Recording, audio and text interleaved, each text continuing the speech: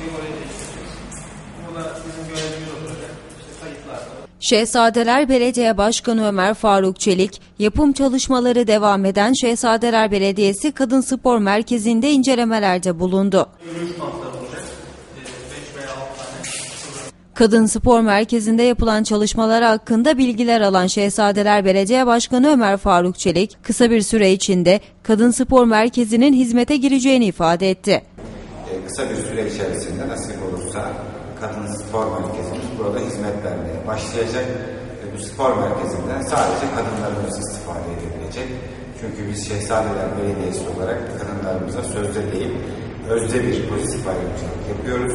Daha önce verdiğimiz bir sözümüzdü. İnşallah bir vaadimiz, bir sözümüz daha gerçeğe dönüşmüş olacak.